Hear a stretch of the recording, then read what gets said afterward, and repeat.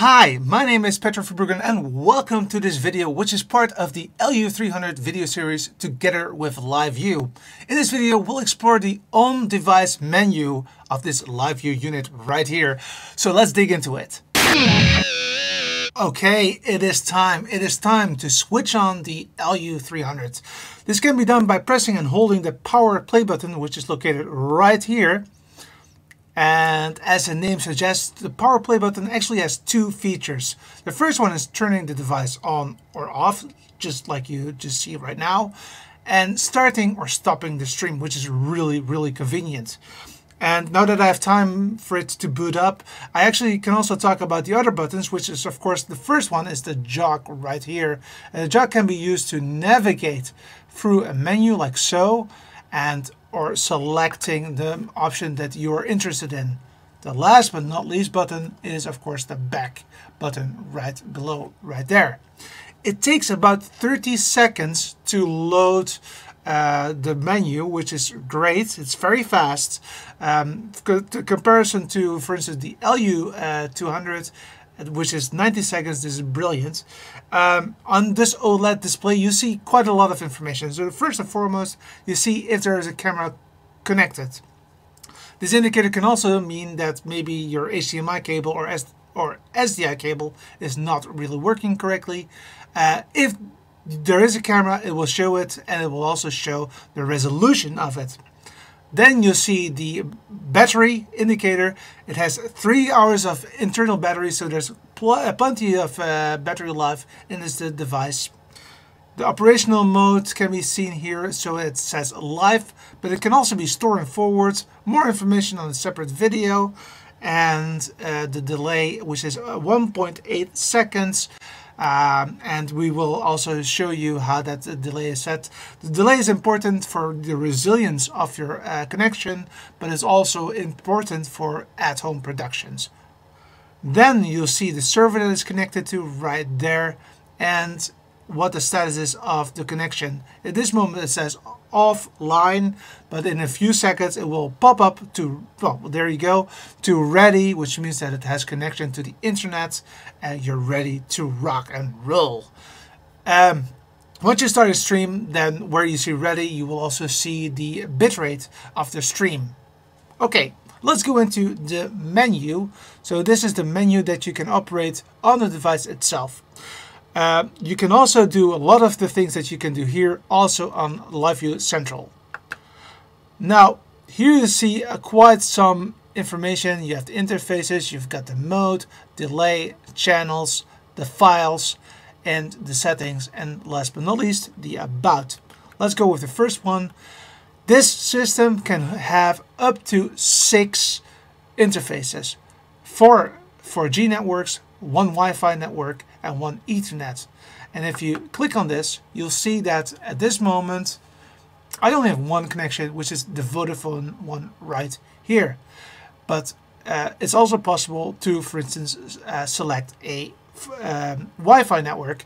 In order to do that, you just click on Show List, select Network, it will scan for the network right now. It will take a few seconds to load and then you will see all of the Wi-Fi networks in this area.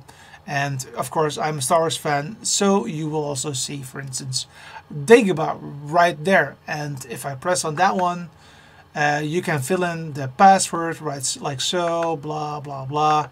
And then uh, once you're done, you say you hit done, and there you have your password, and it will then load it for you. I'm going to go back like this uh, to the main menu. Then we are going to continue with the mode. And I, I just said that there are two modes on this device. The first one is live, which I think is very, very, um, yeah, well, normal to, to understand.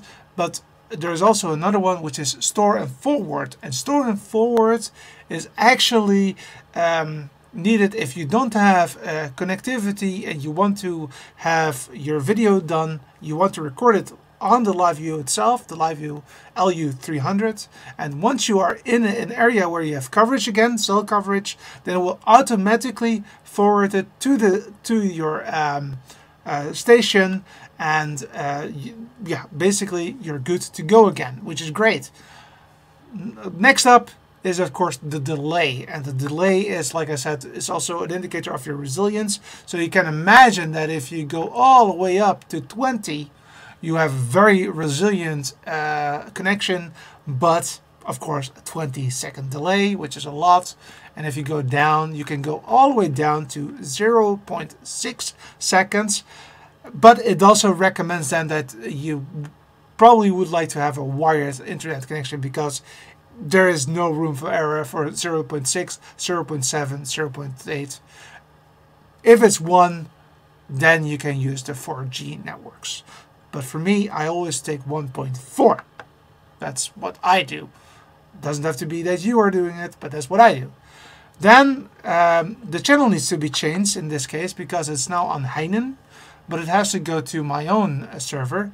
So let's go down to my server, right, like so and it's right there. So I'm clicking on it. So that's my own server, which is great that it's so easy and convenient to get. Next but not least, um, of course, we have files. That is very important for storing forward.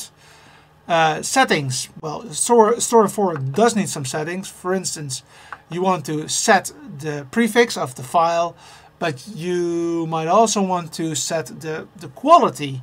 And this is the best quality SP that's uh, 8 megabits per second but you can also make it a little bit lower but I think that 8 is perfect. So I'll take that and uh, the last is the adaptive resolution which means that the LU300 actually um, changes its bitrate depending on the quality of the cellular network. That is fully automatic at this moment then. And then we have about, which uh, provides information on the name of the, the system, the serial number, the software version, and that kind of information. Well, there you have it, the complete walkthrough of the menu of the LU300. Of course, the, the, video feed of the camera when it's connected will be shown on the display together with Audio Bus to monitor your audio. Most of the features that you saw on the menu will also be available on the LU Central web portal with more uh, features added as well. And, uh, well, if you like this kind of content, please subscribe and hit the bell icon to get notified when we post a new video. Thank you so much for watching. Bye.